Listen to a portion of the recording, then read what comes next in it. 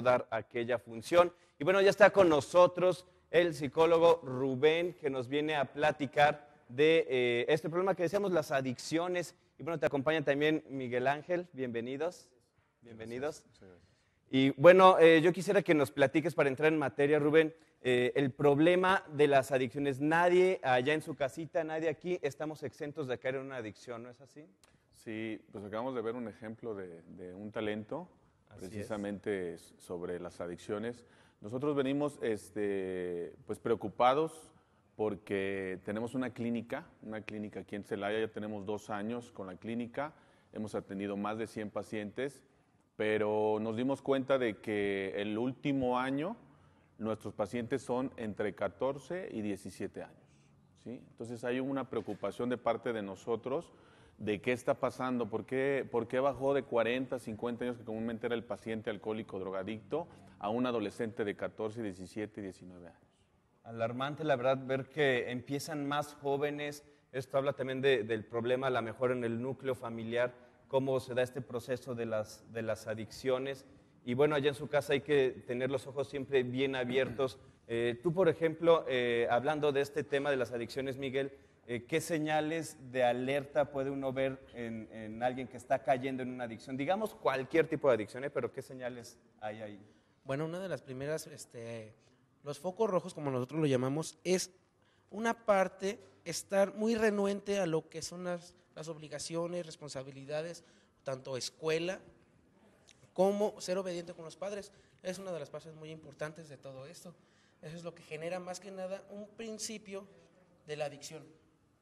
Otra que es este, lo que es un ambiente familiar muy disfuncional. Muy disfuncional.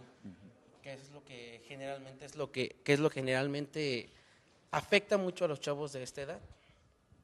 Muy cierto, eso de repente eh, pues es el ambiente también el que te va eh, envolviendo y, sin darte cuenta ya te hiciste adicto y empezaste con una probadita y ya de repente estás consumiendo eso diario, te estás escapando de tu casa.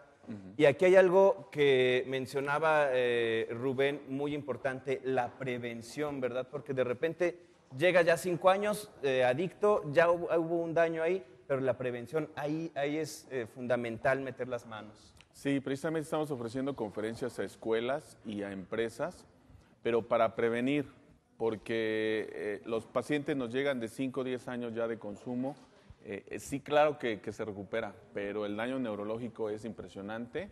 Entonces lo que queremos es ir a las escuelas, a las empresas para ofrecer pláticas de prevención con un testimonio precisamente de, de nuestros pacientes que tenemos que ya salieron, para que los jóvenes tengan un impacto y se den cuenta a lo que pueden vivir y que esto no es un juego. ¿Sí? Realmente es algo delicado y todo, todo comienza con una cerveza, todo comienza con un, con un cigarro de marihuana, todo comienza con una dosis de cocaína, ¿verdad?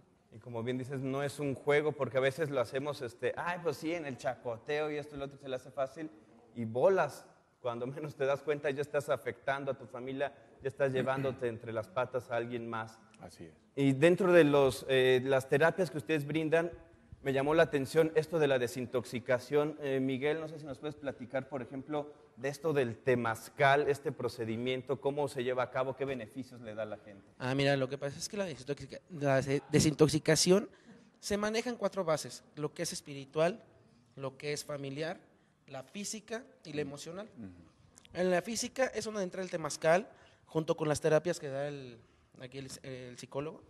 También este, al momento de entrar al temazcal, obviamente el cuerpo a cierta temperatura se genera como tercer riñón. Empieza a sacar todas las toxinas al empezar a sentir todo el calor. ¿A qué me refiero? A que toda la droga que uno, se ha consumido, lo que sea marihuana, cocaína, éxtasis, piedra, bueno, ahorita qué es lo que más se consume, que es la piedra y lo que son los inhalantes, que es este el CPVC, pegamento y limpiador para tubos de CPVC, empiezan a salir por los poros de la piel y vuelve a tener un estado de intoxicación, pero ya no es físico, ya es puramente mental. Sale al momento, al momento de salir el temazcal, sale con un grado de desintoxicación de un 20% más dentro del tratamiento para empezar a, bueno, nosotros le llamamos para empezar a aterrizar al paciente. Para aterrizarlo, y esto que mencionas que la piel, pues este órgano tan grande, que es el más grande de todo el cuerpo, se convierte en un tercer riñón que te va a permitir sudar y sacar todas estas toxinas.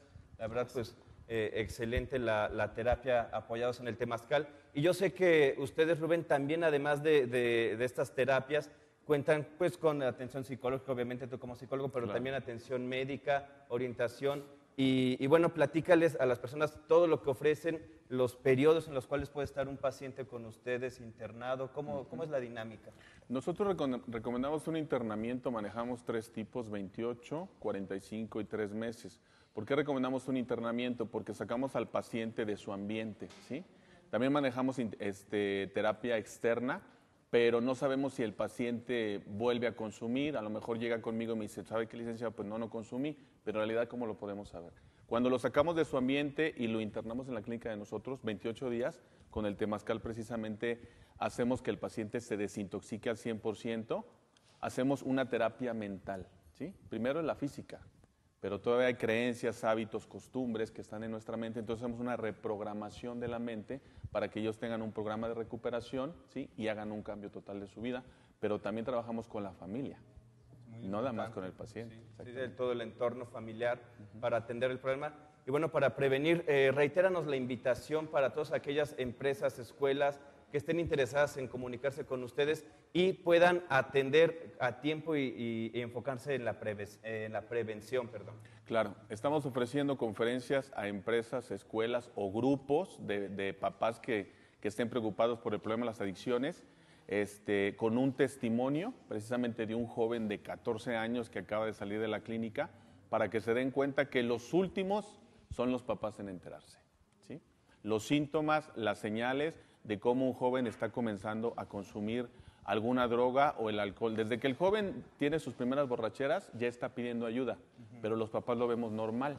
¿sí? Ah, pues se aventó una cerveza. Es no la pasa edad, nada. es la edad, siempre justifica. Exactamente. Pero no saben hasta dónde van a llegar con las primeras cervezas que se toma o con las primeras dosis de, Pues, de, de droga. Ahí está apareciendo, este es el teléfono donde pueden comunicarse, ¿verdad? Para solicitar. Así es. Pues 61-179-0667. 67. Pues ahí está la invitación para que llamen y cambien eh, pues esa realidad que, que puede estarse sufriendo en la escuela, en la casa, en el trabajo. Aquí están nuestros amigos, el, el, psicólogo Rubén Gascón, Miguel Ángel y bueno, y todo el equipo que ustedes tienen, porque ustedes son dos, pero yo sé que atrás hay un equipo grandísimo. Pues Así muchísimas es. gracias. Gracias a ustedes. Enhorabuena. Y pues este, a seguir esta loable labor y vamos a prevenir las adicciones.